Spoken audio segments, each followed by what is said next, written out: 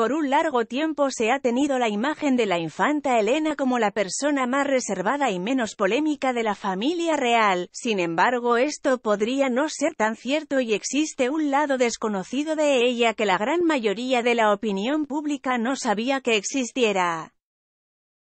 Ciertamente la duquesa de Lugo tiene un límite en su paciencia y todo parece indicar que los medios de comunicación se sobrepasaron con ella, o al menos así lo interpretó ella al momento de descargar toda su ira en un episodio que hasta el día de hoy era un secreto.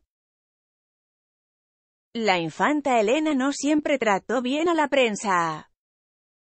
El reportero Diego Arrabal confirmó al programa Viva la Vida que durante el año 2002, cuando Jaime de Marichalar era su flamante marido todavía, ella reaccionó de una forma violenta ante las cámaras, y las imágenes se han mantenido guardadas desde entonces.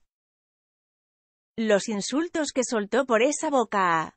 Soy incapaz de reproducirlo, lo mismo ella que él. Hay un vídeo. Así aseguró el paparazzi en la entrevista en la que además confirmó que el material audiovisual ha sido ocultado, pues deja muy mal parada a la hermana del rey Felipe.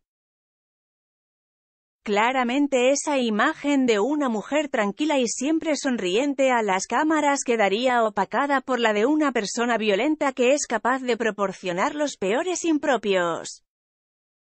Lo último que la infanta Elena desea es que toda España conozca su lado menos educado y se cree que, por presiones de la corona, ese vídeo simplemente desapareció. Ese episodio se registró en New York cuando a Marichalar se le estaba tratando el ictus que sufrió y que por poco acaba con su vida, y ahí estaba ella incondicional hacia él.